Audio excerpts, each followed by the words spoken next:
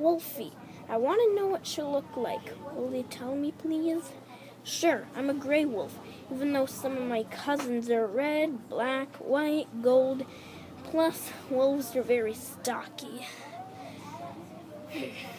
What do you eat, Mr. Wolfie?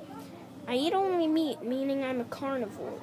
I eat moose, elk, deer buck, some of my own kind, even, meaning I'm a cannibal. What are your adaptations to survive? My adaptations to survive are strong, long legs to help me bring down large prey. I also have three types of teeth incisors, canines, and carnassials. I also have sprinting speed of 25 plus 10 miles per hour. What do you need in your habitat to survive? My kind live mostly in the north and in Asia, Europe, and North America. Who are you afraid of? I am only afraid of bears.